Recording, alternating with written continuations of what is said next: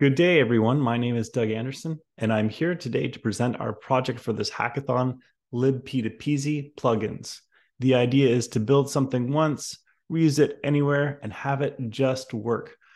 We've been working on a groundbreaking solution that hacks on libp2p, a decentralized peer-to-peer library.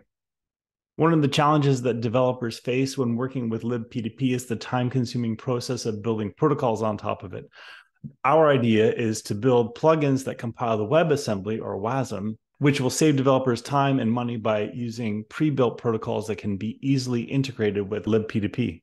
There's a lot of benefits to using WebAssembly. We chose WebAssembly as the plugin language because it can be run in any other language like Go, Rust, or JavaScript. This flexibility allows developers to implement the protocol once and integrate it into any system, making it future proof and modular.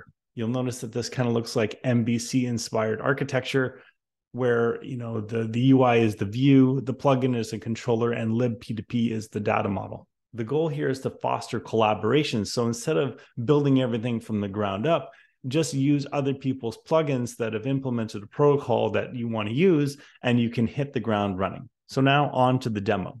Of course, all this code is available on GitHub in addition to the link to the demo page. Now, as you can see, as with all libp2p implementations, all you get is pub/sub and the DHT and the peer ID.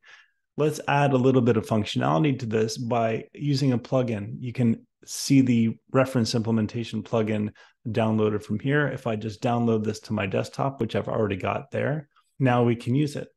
So if I load up that WASM file into my app,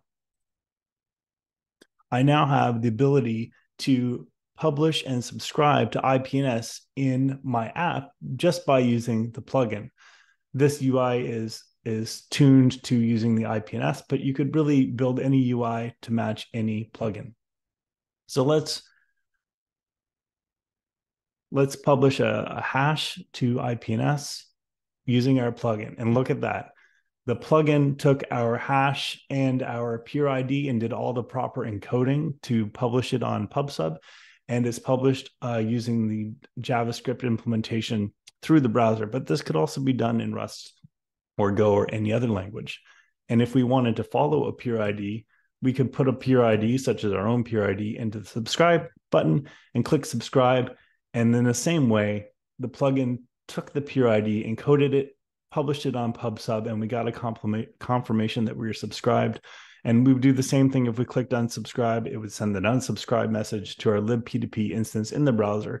And this is all done through the WebAssembly plugin.